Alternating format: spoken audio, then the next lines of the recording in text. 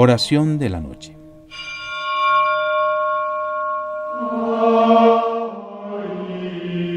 Jueves 8 de diciembre de 2022.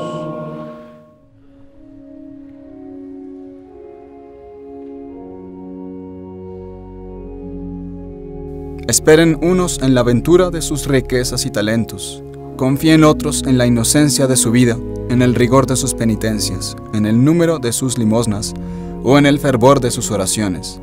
Vos, Madre mía, a mí me constituisteis en la esperanza.